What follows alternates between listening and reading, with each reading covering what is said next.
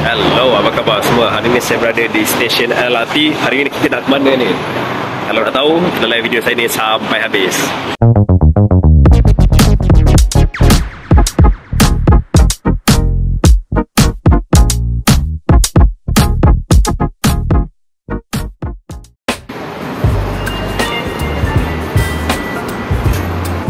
Okay, terima kasih.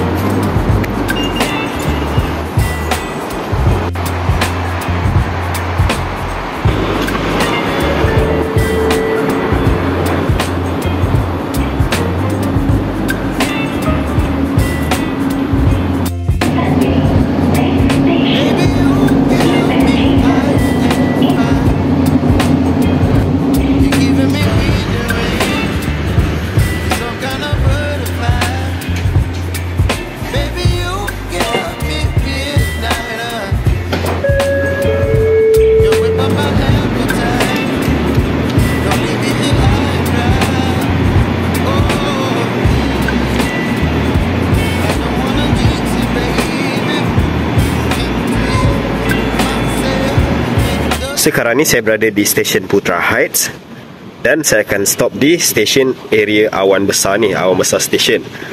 Di sini saya ada baca mengatakan ada bus free shuttle menuju ke Pavilion Bukit Jalil di mana anda boleh naik dekat situ.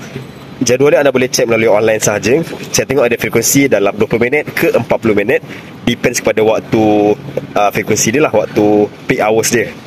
So akan anda akan stop daripada sini Awan Besar menuju ke bus free tu dan pergi ke Pavilion Bukit Jalil. Bukan Bukit Bintang eh, Bukit Jalil.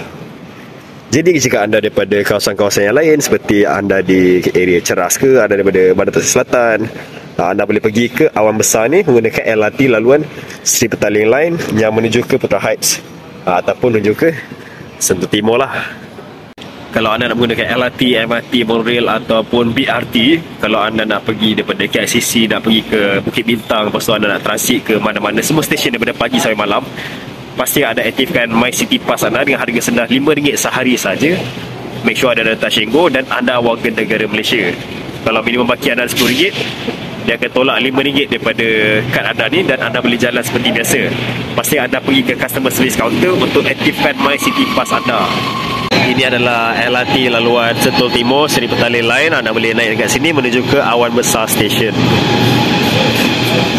Menggunakan LRT ni memang best lah bagi saya sebabkan anda boleh pergi daripada area PJ anda datang daripada area Puchong boleh connect menuju ke Kuala Lumpur ni dan bagi saya lebih mudah jika anda ada My City Pass tu lah.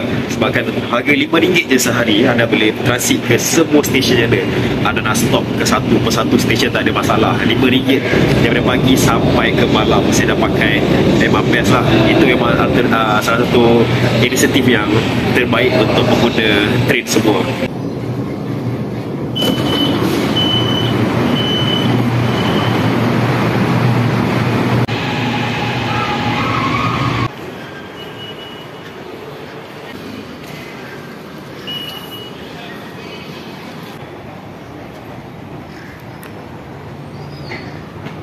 Saya dah nampak bas kat sana ditulis Pavilion Bukit Jalil. Mungkin tu adalah bas shuttle yang disediakan. Ha, dua tingkat lah dahsyat betul lah. Jom kita naik dulu. Ini adalah bas servis yang disediakan daripada LRT Awan Besar menuju ke Pavilion Bukit Jalil. Bas dia dua tingkat dan di sana ada jadual dia sendiri. Ini adalah jadual dia. Kalau anda tak nak check dekat board ni, anda boleh check dekat website dia sendiri. Memang dah disediakan. Kegerapan bas dia adalah setiap 20 minit sehingga 40 minit depends kepada waktu dia bergerak lah macam sekarang menunjukkan pukul 3 kita akan naik bas pukul 3.40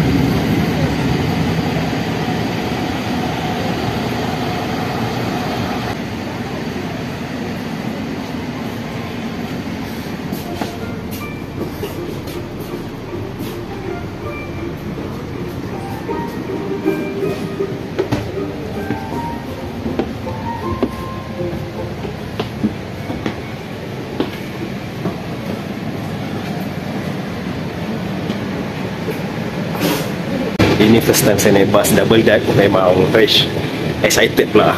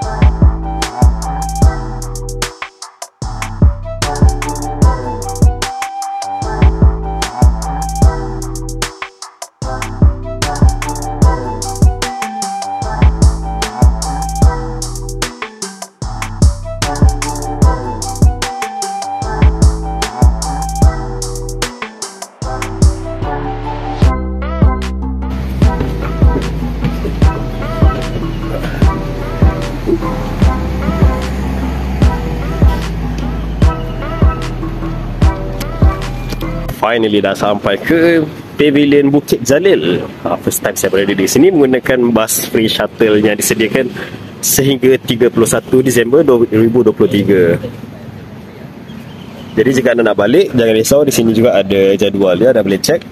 So daripada Bukit Bukit Jalil punya Pavilion ni oh, bawah ni. Ha, sebab hari ni weekend.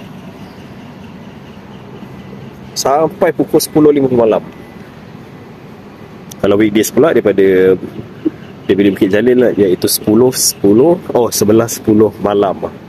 Jadi sempatlah kalau orang nak balik kerja, orang nak daripada staff kat pavilion ni menuju ke stesen awan besar. Jadi itulah cara dia untuk anda yang tak ada transport sendiri macam saya ni saya gunakan train sahaja kan. Itulah salah cara dia untuk anda pergi ke pavilion Bukit Jalil ni dengan tanpa menggunakan kenderaan. Kenderaan sendiri ya. Anda boleh gunakan LRT, stop di awan besar dan menggunakan bus free shuttle tu menuju ke sini. Punya frekuensi dia adalah selang 20 minit antara 20 ke 40 minit lah depends pada jadual yang disediakan tu. Jadi tanpa buang masa saya akan masuk dulu dalam pavilion ni. Dan itu je lah daripada saya untuk video kali ni. Jangan lupa like, share dan subscribe channel saya. Kita akan berjumpa next episode. Okay. So jangan lupa tekan like tu. Okay. Bye-bye.